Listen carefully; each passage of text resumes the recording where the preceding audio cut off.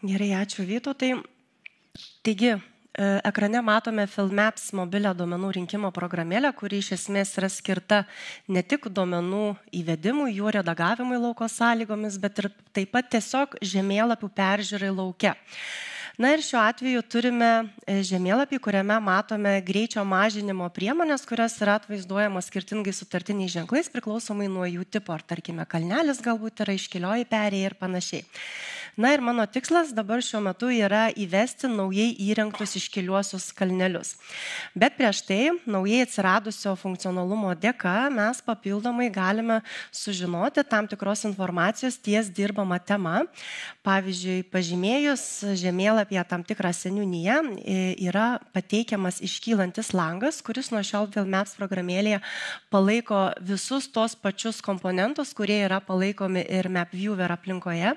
Tai reiškia, reiškia, kad mes galime turėti, kaip čia šiuo atveju, diagramą, kuri rodo greičio mažinimo priemonių pasiskirstimą pagal jų tipą. E, galime turėti lenteles, įvairiausius tekstus. Na, pačioje pabaigoje turime priedų kategoriją, kur galime pasižiūrėti toje seniūnijoje įrengtų kalnelių pavyzdžius. Tokiuose žemėlapiuose naudotojai nuo šiol taip pat gali atlikti ir duomenų filtravimą.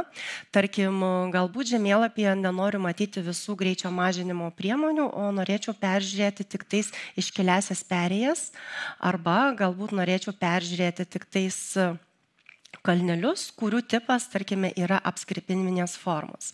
Na ir tokiu būdu naudotojai gali filtruotis duomenis, pasirenkant vieną ar daugiau tam tikrų laukų kategorijų. Na, o dabar paimkime ir įveskime e, naują greičio kalnelį tam tikroje vietoje. Ir čia šiuo atveju, kada jums yra, tarkime, labai svarbus tikslus duomenų rinkimas, tai tam patikslinimui jūs su Filmes programėle galite naudoti išorinius GPS intuvus, tarkim, Trimble Catalyst, kuris palaiko tiesiogiai be jokių papildomų integracijų Filmes programėlę ir su juo jūs galite rinkti duomenis 30, 10 ar net 1 cm tikslumu. Na ir pasirinkus į žemėlapį pridėti, na, sakykime, šiuo atveju kalnelį, matome tokius laukus kaip, tarkim, kalnelio tipas, greitis toje atkarpoje, ilgis arba kalnelio aukštis. Prie tipo pasirinkus apskripiminės formos keliaujame į lauką greitis, kuriame matome, kad galime pasirinkti dvi rekomenduojamas reikšmės šitam kalneliui. Duomenų įvedimo formoje taip pat yra ir kitos reikšmės, kurias galime priskirti kitiems kalnelio tipams. Na, o tarkim, jeigu pasirinksime trapecinės formos kalnelį, matysime, kad rekomenduojamos greičio reikšmės pasikeitė.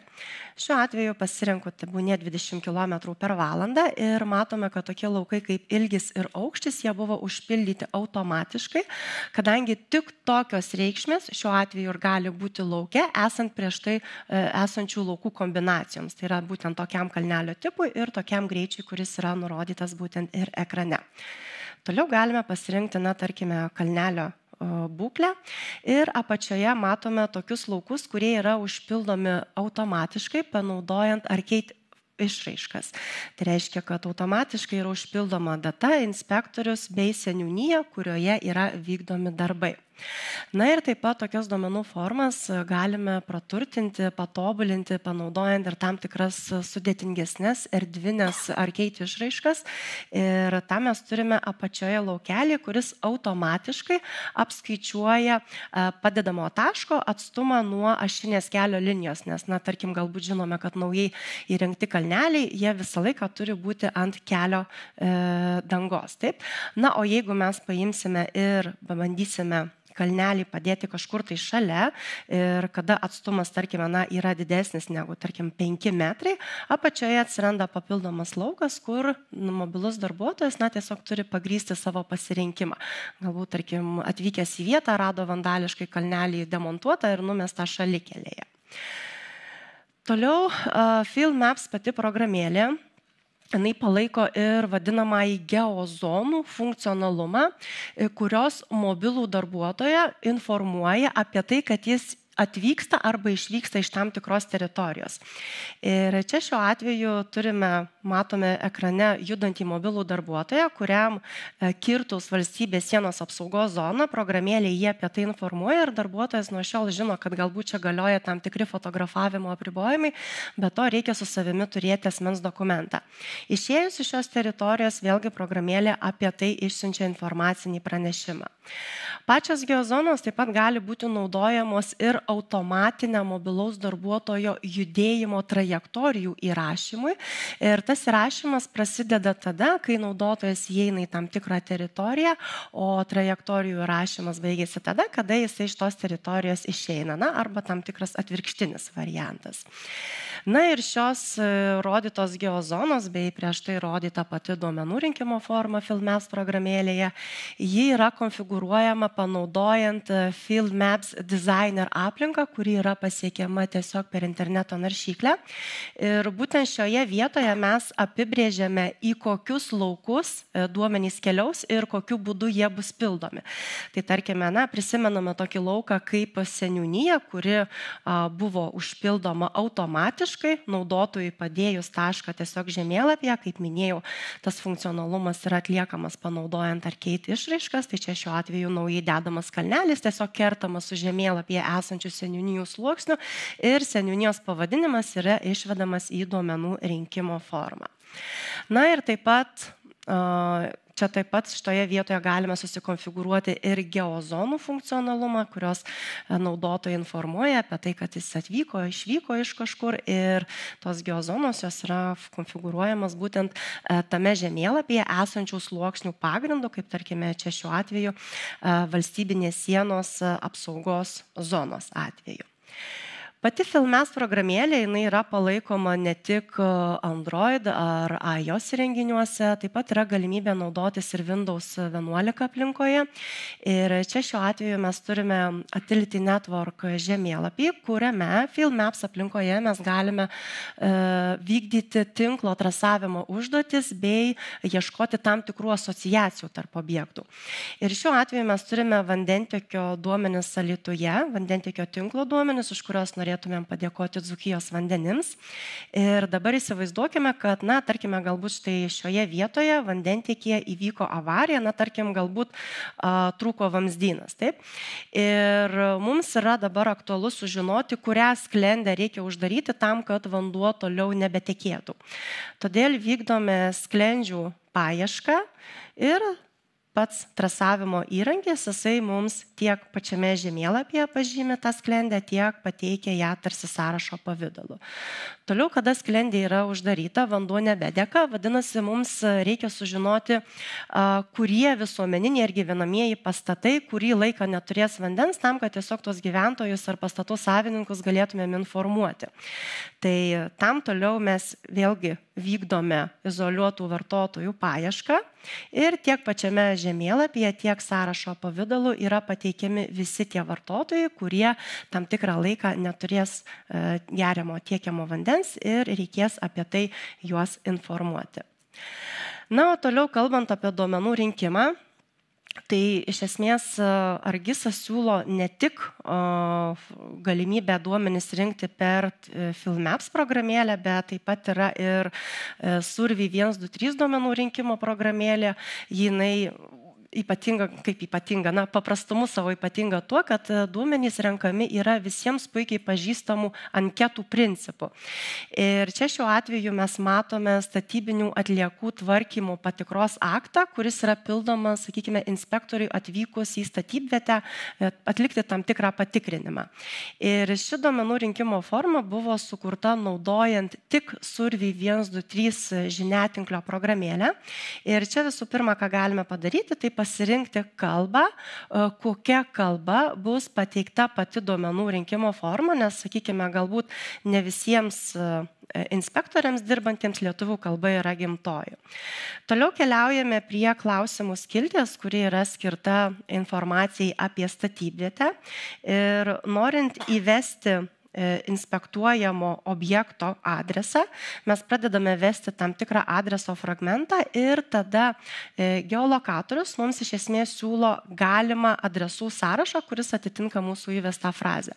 Ir čia šiuo atveju mes galime naudoti ne tik ESRI siūlomą geolokatorių, ne tik mūsų sukurtą Lietuvos geolokatorių, bet kiekvienas iš jūsų galite sukurti savo geolokatorius ir naudoti tokioje Survey 123 apklausoje. Na, šiuo atveju pasirinkus su norima adresą, pilnas adreso laukas yra užpildomas adreso laukelėje, o tokie laukai kaip statybvietės vieta arba, tarkime, sklypo numeris, sklypo paskirtis toliau yra jau užpildomi automatiškai, darant mūsų pasirinkto taško sankirtą su kitais sluoksniais esančiais e, šioje duomenų rinkimo formos žemėlapyje.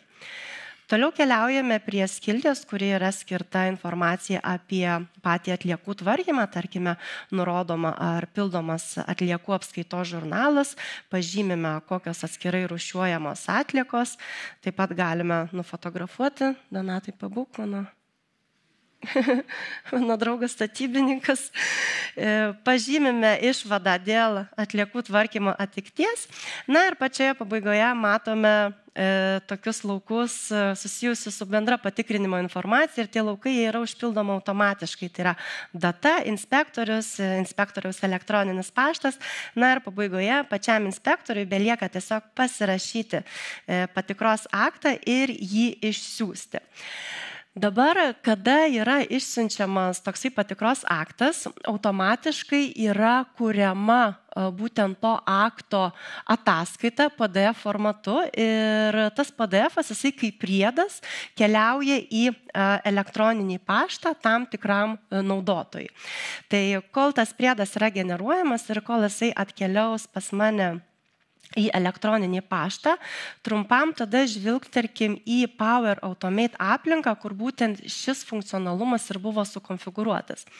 Vėlgi matome tam tikrą veiksmų seką, kurią sukonfigūravus e, iš kiekvieno pateikto inspektoriaus įrašo e, yra pagal tam tikrą mūsų nusirodytą šabloną formuojama ataskaita ir, kaip ir minėjau, jinai yra siunčiama e, tam tikram naudotojui tiesiog elektroniniu paštu kaip priedas su tam tikra iš ataskaitos ištraukta papildoma informacija. Na, o tokia vat survei 123 apklausa, kurią atrodžiau, kurią demonstravau, kaip minėjau, jinai buvo sukurta naudojant naudojant tiesiog žiniatinklio Survey 123 žiniatinklio konfigūravimo aplinką, kur mes turime sąrašą vadinamųjų klausimų tipų. E, tuos norimus klausimus susikeliam į pačią duomenų rinkimo formą ir juos sukonfigūruojame. Tarkim, objekto adresui nurodyti, tai pasirenkam, koks geolokatorius bus naudojamas, prisiprimenu, kad čia bet kokį lokatorių galite jūs naudoti. Tarkime, žemėlapyje pasirenkame žemėlapį, kuris bus atvaizduojamas pačioje duomenų rinkimo formoje ir panašiai. Na, o dabar, jeigu nukeliausime į elektroninį paštą, štai matome, kad štai prieš minutę nepilną atkeliavo laiškas, kuriame yra informacija, kad yra pateikta nauja ataskaita apie atliktą patikrą dėl atliekų tvarkymo. Turime adresą, kokio e, buvo vykdoma patikra, inspektoriaus informacija. Taip. Na ir atsidarę PDF dokumentą, štai mes matome visą tą informaciją, kuri buvo supildyta inspektoriaus patikros būtent metu. Na, o tie naudotojai, kurie galbūt naudojatės ne žiniatinklio Survey 123 konstruktoriumi, bet naudojatės Survey 123 Connect aplinką, kur duomenų rinkimo formos iš esmės yra apibrėžiamos apsirašant Excelio failą. Tai greitų metų galėsite naudotis išmaniosios kameros funkcionalumu. Tai dabar turiu analogišką duomenų rinkimo formą, kuri buvo parinkta, sukonfigūruota su būtent Survey Connect e, programėle. Ir čia šiuo atveju tai išmanioji kamera, ką jinai gali padaryti. Tai reiškia, kad atvykę į vietą, bandant daryti nuotrauką, matome, jeigu yra aptinkamas žmogus, iš karto jisai yra išblukinamas, išsklaidant pikselius. Ir tokias e, teritorijas, e, vat, būtent, e, kurios yra va, dabar apibrėžiamos, mes rankiniu būdu galime pasikoreguoti arba esant poreikiui pridėti ir naujas. Ir tokia išmanioji kamera gali turėti dar ir kitą funkcionalumą. Tai tarkime, tai, kas yra atpažįstama e, pačioje kameroje, tarkim, transporto priemonės skirtingos, e, sakykime, augalai, gyvūnai, tai tų atpažintų objektų kategorijas išvesti kaip užrašus į pačią nuotrauką arba tas išvestas reikšmės mes turime galimybę panaudoti kitiems laukams pildyti toje pačioje duomenų rinkimo formoje. Na, o visi duomenys, kuriuos mes surenkame tiek su Survey 123 programėlė, su FieldMap, su, tarkime, su Argis QCapture, jie gali keliauti ne tik į prieš tai rodytas popierinės PDF-inės duomenų, sakykime, ataskaitas, bet taip pat gali keliauti ir į kitus Argis komponentus. Ir vienas iš jų tai yra Argis dashboard švieslentės. Ir čia šiuo atveju mes matome būtent tokią švieslentę, kurioje yra pateikiama apibendrinta informacija apie statybę piliečių patikras. Ir šiuo atveju matome, kiek iš viso buvo atlikta patikrinimų, e, kiek statybiečių reikalavimų netitinka, kaip jie būtent pasiskirsta tie patikrinimai pagal atitiktis. E, čia pat galime ieškoti konkrečių sklypų tarkime, pagal sklypo numerį, kuriuose buvo atliekami patikrinimai, arba paprasčiausiai apsibrėžus e, tam tikrą teritoriją, gauti statistiką tik tų patikrinimų, kurie patenka į tą teritoriją. Ir į tokias švieslentės gali keliauti duomenys ne tik istoriniai, jau apibendrinti, tarkime, kaip čia šiuo atveju, bet gali keliauti duomenys ir realių laikų ir jūs galite sekti visą situaciją tokią, kokia yra dabar. Ačiū.